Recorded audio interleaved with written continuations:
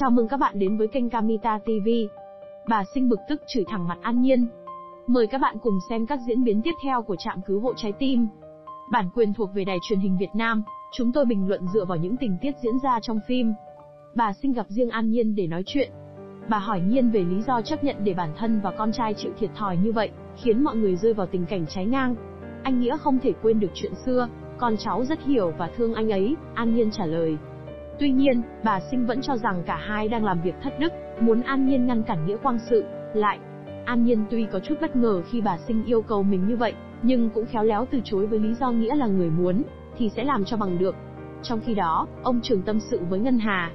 Ông cho biết công ty vừa là tâm huyết của mình vừa là của con gái. Ông muốn cô về công ty giúp mình kinh doanh. Ngân Hà thắc mắc tại sao bố mình không giao toàn bộ việc ở công ty cho Nghĩa, liệu có phải vì ông không tin tưởng con rể? Đáp lại, Ông khẳng định ông có tin nhưng không bằng niềm tin dành cho bản thân hay cho con gái. Cuối cùng, điều ông Trường lo lắng đã xảy ra. Vở kịch hạ màn, Nghĩa đã hoàn toàn để lộ bản chất thật trước mặt bố vợ. Tôi muốn ông chứng kiến những gì mà ông yêu quý nhất, tôi sẽ cướp hết. Những gì mà ông mong mỏi nhất, tôi sẽ không cho phép ông có. Làm sao tôi có thể để con tôi gọi kẻ thù là ông ngoại được, Nghĩa tuyên bố. Nghĩa đã thẳng thắn nói ra thân phận của mình, là con của ông Quang. Mời quý vị đón xem những diễn biến tiếp theo của bộ phim Trạm cứu hộ trái tim. Hãy để lại bình luận của các bạn bên dưới. Like và đăng ký để đón xem các tập tiếp theo nha. Giờ thì xin chào và hẹn gặp lại.